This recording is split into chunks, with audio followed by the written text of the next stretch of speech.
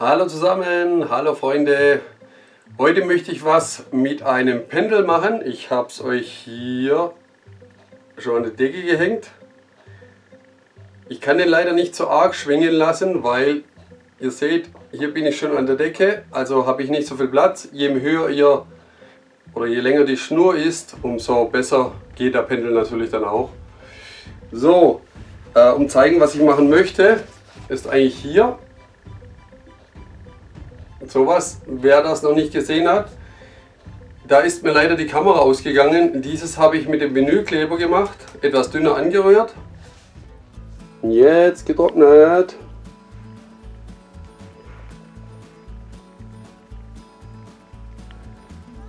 Ja. Ich finde die Wellen gar nicht schlecht für meinen ersten Versuch, meinen ersten Pendelversuch. War es doch gar nicht so schlecht. Tja.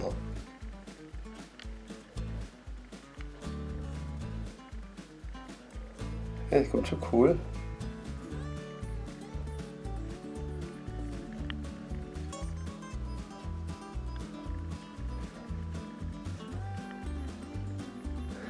Da habe ich halt gekleckert ein bisschen.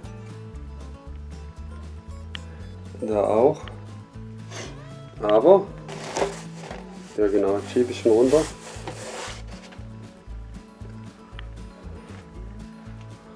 Also, ich finde es nicht schlecht. Ausbaufähig. Und vor allem, wenn mein, mein, meine Schnur dann auch mal hebt, dann passt das. Okay. Äh, wer auch solche Bilder mal sehen möchte, trotzdem auf Instagram, bisschen Werbung machen, ähm, also auch Helsing Paint Art Design, einfach mal suchen, gerne abonnieren, würde mich freuen. Da zeige ich auch mal solche Bilder, wo ich nicht mit Kamera gemacht habe oder eventuell auch die Kamera wieder ausgefallen ist, so wie letztes Mal. Gut, dieses Mal habe ich es mit dem Pouring Medium von Schminke angerührt. Habe genommen, ich, beziehungsweise nehme schwarz als Untergrund, ähm, türkisblau, Zinnoberrot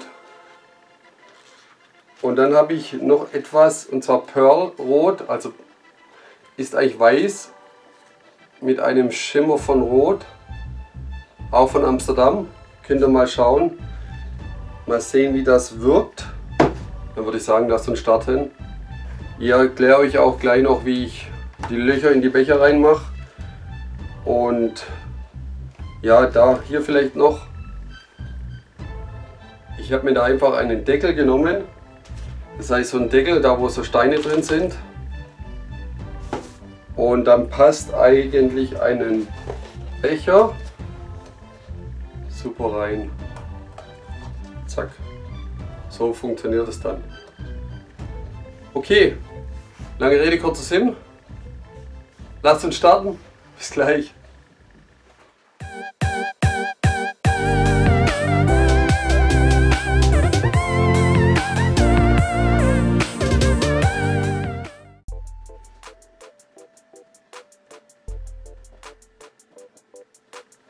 Ja, das war mein Wachwurm, der passt immer auf meine Bilder auf. Ich habe schon so oft gesagt, der soll nicht in die Kamera gehen.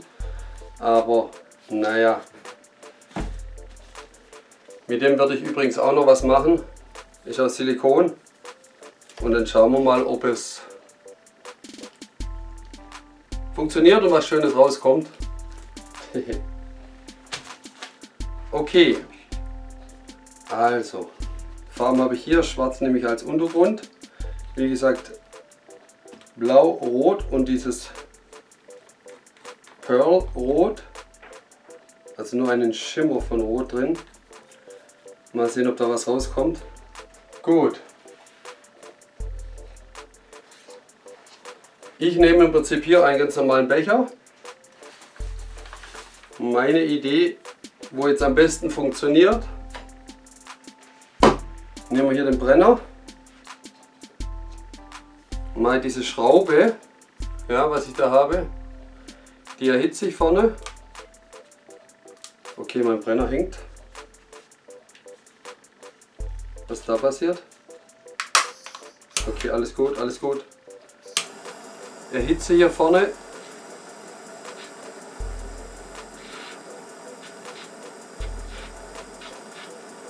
So müsste reichen. Ups. Und dann nehme ich hier. Okay, reicht noch nicht. Vorführeffekt.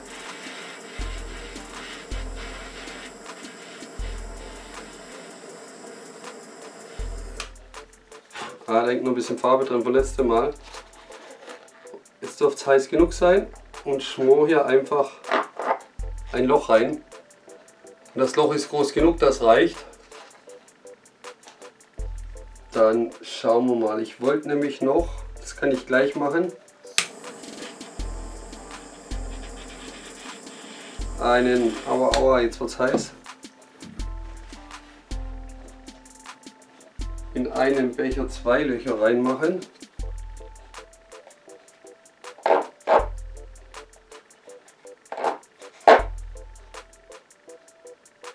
Hm. Ja, kommt drei, egal. Muss ich nur schauen, wie ich das zuhebe nachher. Spaß muss sein. So. Und dann kann ich nämlich den Becher hier nehmen, hebe dann das Loch zu, befülle ihn und dann kann ich ihn lospendeln lassen. Jetzt werde ich aber erst einmal die Grundfarbe schwarz machen. Wie gesagt, ich habe es auch etwas dünner angerührt, damit es einfach besser durch das Loch fließt auch. So, ich schiebe das mal zu mir her. Habe übrigens mit so Pins abgedeckt. Ja, was heißt abgedeckt? Die Erhöhung gemacht.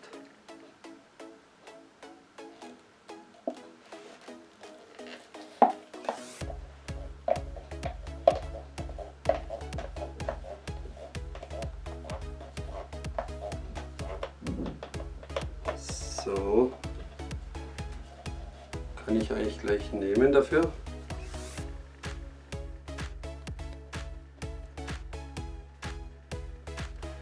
Ich will jetzt auch nicht so viel Farbe.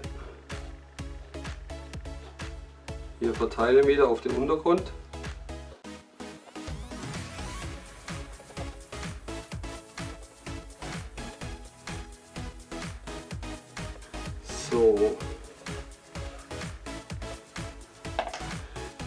Schmiere ich jetzt mal so voll. Also das funktioniert auch ganz gut mit diesem Pouring Medium von Schwinke, ihr seht Für solche Sachen sind die halt schon gut.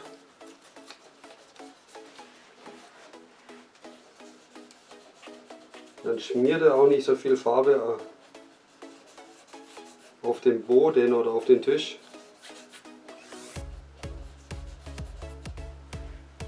Aber gut, ich lasse jetzt trotzdem noch ein bisschen laufen, damit sich gleichmäßig verteilt. Das ist mir lieber.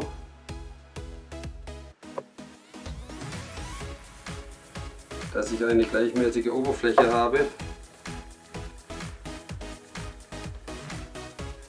Wie hier wenig Farbe auf den Tisch zu schmieren.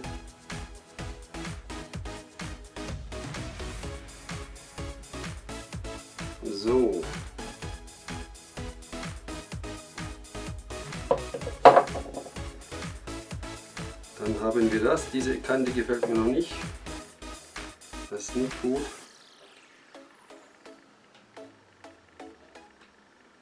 Also mir ist da wirklich wichtig, eine gleichmäßige Oberfläche zu haben.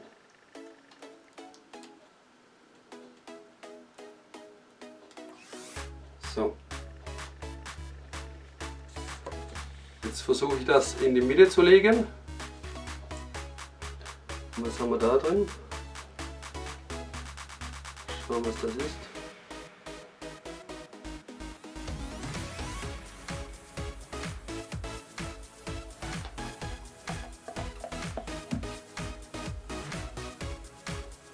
Hm, hm, hm. Gefällt mir gar nicht. So typisch Wofür-Effekt. Ach man. Tja. Ja, etwas hin und her laufen lassen. Ja, da ist was drin. Ich sehe es gerade.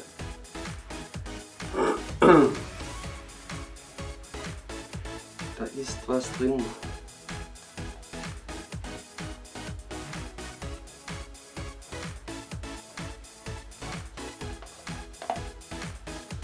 Ich hoffe, ich habe es jetzt.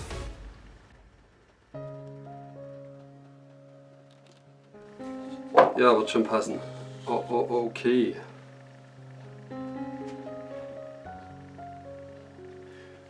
So, kurz mal abputzen.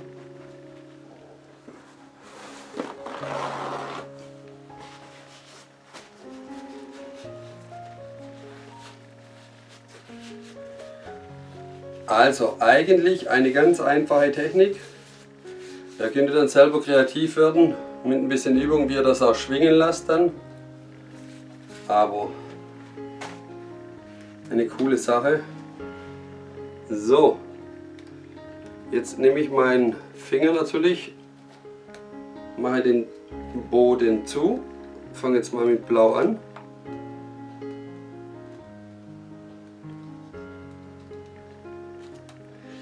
Ich überlege gerade, doch ich mache erstmal eine Farbe. Ihr müsst halt auch mal aufpassen mit dem Schwingen. Ist nicht ganz so einfach, aber und dass es ein bisschen rund drehen lässt. Schauen wir mal. Und ich muss auch mal schauen, ob die Farbe dünn genug ist. Weil wie gesagt, mit diesem... Ja, sie fängt zu tropfen an.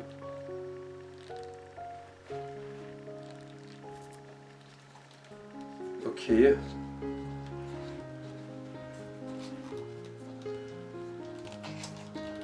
Da muss man vielleicht schauen, ob wir etwas dünner machen oder dicker lassen. Das ist die Frage.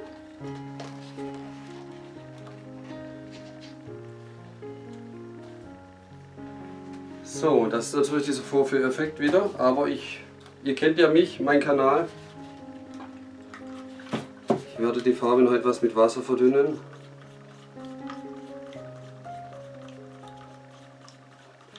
Wobei das ja auch keinen schlechteren Effekt gibt. Und ihr müsst bedenken, dass ihr halt ringsherum etwas Platz lasst, weil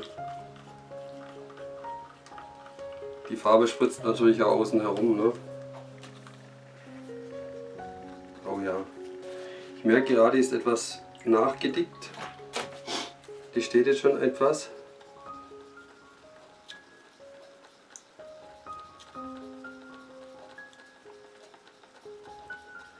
Und vor allem aufpassen, dass halt nichts hineintropft. Auf das Bild. Jetzt denke ich mal, ist es besser. Ja, die ist auch noch etwas nachgedickt.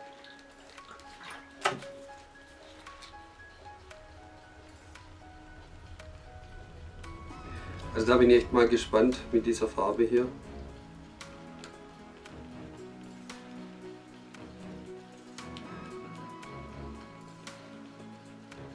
Da lief der Vinylkleber etwas dünner durch, hat dünnere Streifen gemacht, aber das kommt natürlich auch cool.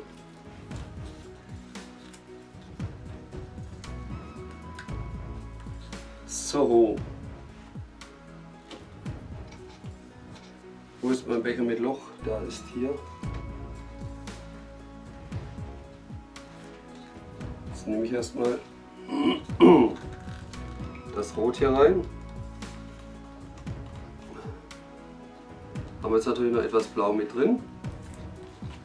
Aber ist das so schlecht auch nicht. Jetzt schauen wir mal.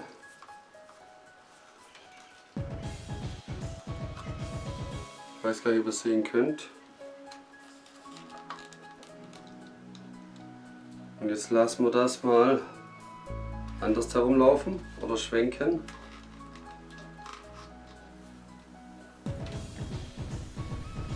Ah, das gibt dickere Streifen, wenn man es dünner macht.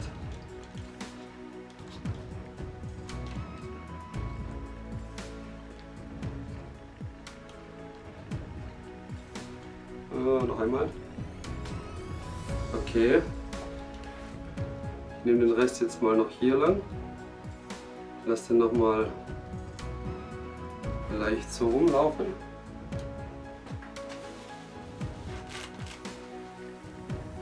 Also zu dünn scheint auch nicht zu sein, weil es sonst zu dünn wird.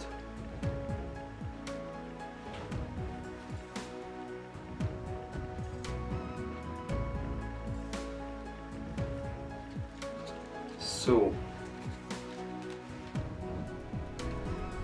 Und jetzt ist natürlich etwas rot in das Weiß gekommen. Natürlich auch nicht so toll.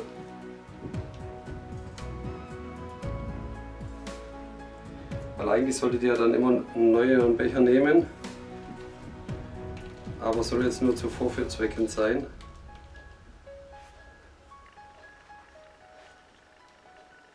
So.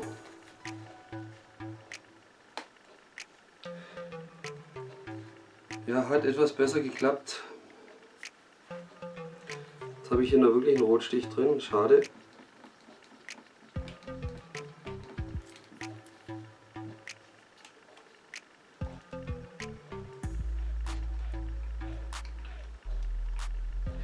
Lasse das nur jetzt mal frei laufen, damit ich auch diese Farbe drin habe nachher.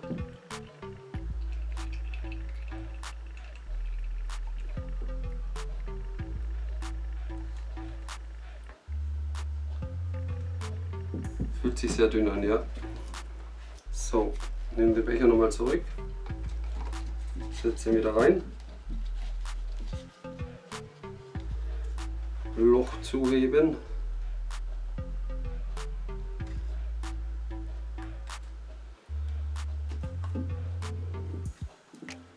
Schauen wir mal, jetzt lasse ich es gerade mal so rum von der anderen Seite.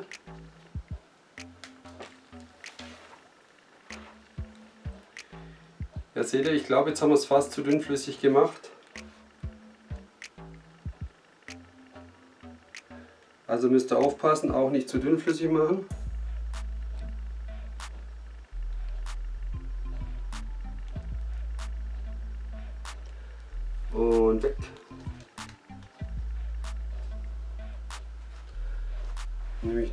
Weiß.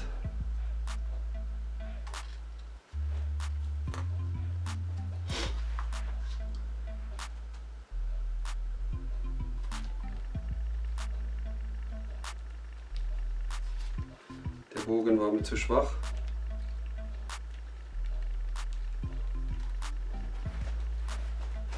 Und mal andersrum laufen lassen. Auch wieder zu schwach der Bogen.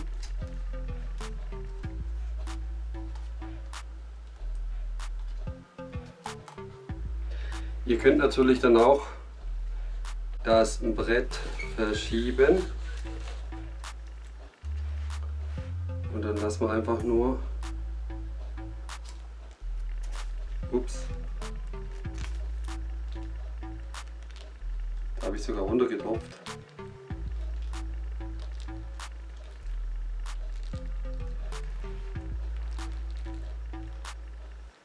So. Hm. Meiner Meinung nach etwas zu dünn geworden.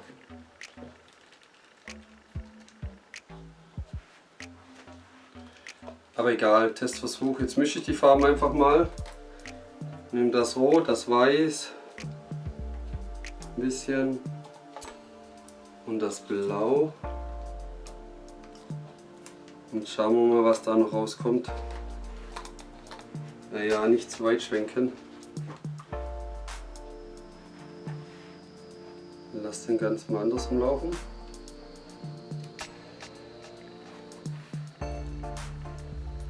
Kommt mir fast zu dreckig schon.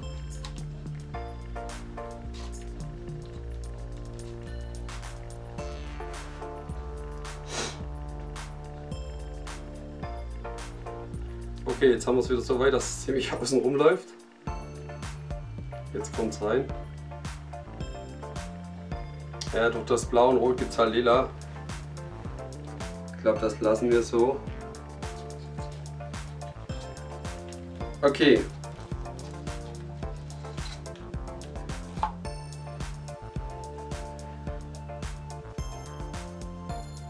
Also ich sehe das Bild jetzt mal als okay an. Das ist nicht so ganz so toll, muss ich sagen. Mit dem Vinylkleber hat es eigentlich etwas besser funktioniert.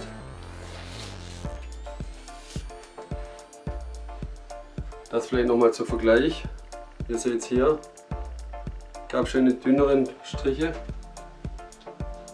Am Anfang war das etwas zu dick und dadurch hat es dann getropft. Jetzt war es etwas zu dünn, so wie es aussieht. Und diese dicken Dinger gefallen mir halt auch nicht so. Okay, sollte aber wie gesagt, also so wie immer eigentlich für euch zur Inspiration dienen. Ihr könnt das dann selber testen. Und vielleicht erschaffe ich dann doch mal ein schöneres Kunstwerk. Wir schauen mal, wenn es trocken ist. Ich zeige es euch jetzt erstmal von nahem, dass ihr es einfach mal seht auch. Also ich habe da auch kein Silikon rein. Also ich fand diese ersten blauen Streifen fast immer noch am besten. Das Weiß ist auch okay. Rot zu dick, aber wir sehen es einfach mal ab, als abstrakte Kunst an. Und dann passt das. Okay, dann bis gleich.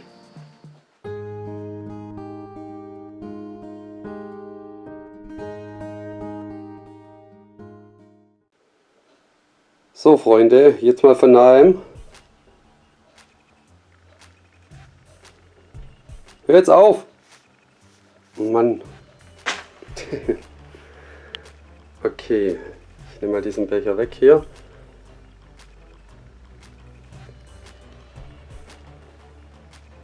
Dass ihr es einfach mal seht. Wie gesagt, hier viel zu viel. Ah, ich muss voll aufpassen, wo der Bilderrahmen ist. So. Ja, das Lila zum Schluss hätte man sparen können. War wieder zu viel gemacht. Die roten Streifen waren am Anfang auch ganz cool, fand ich. Hier am Rand ist eigentlich richtig gut geworden.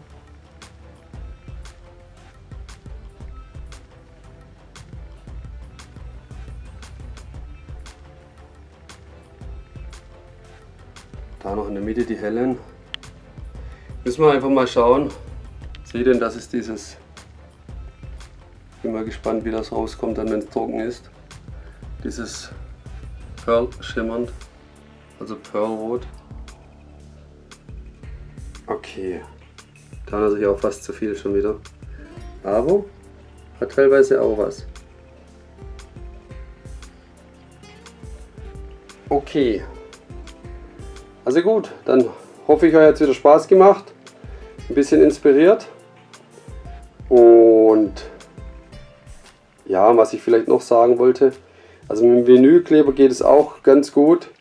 Nur einen Ticken dünner machen, also etwas dünner machen, dann funktioniert das auch, weil wie gesagt, ich mit diesem Pouring Medium von Schminke auch nicht ganz so optimal. Aber da muss man natürlich auch die Mischung wieder herausfinden.